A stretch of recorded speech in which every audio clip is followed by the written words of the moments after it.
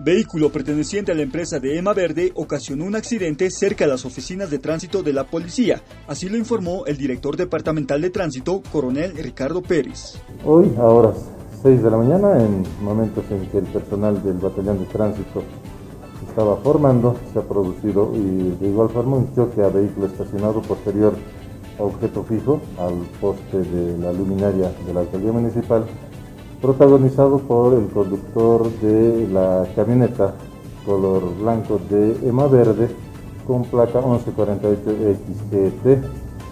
Producto del mismo han resultado daños materiales de consideración en el vehículo que ha sido inicialmente impactado y en el ornato público.